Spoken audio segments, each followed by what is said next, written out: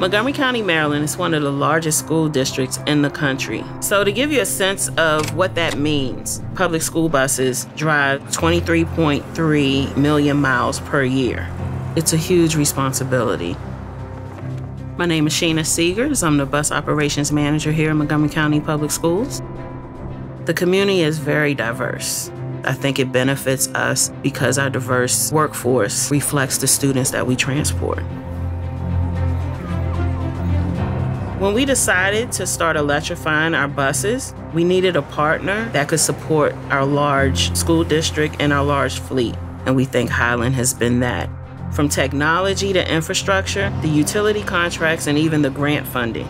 They provided the buses to our specifications and install all the charging equipment. So now we will have state of the art depots that will support our electric school buses.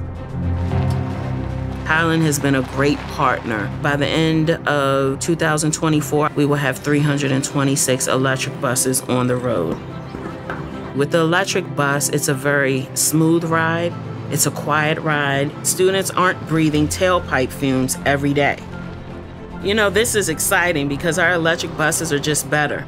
Better for our students, our drivers, our community, and the entire transportation department. This project has brought out the best in our county.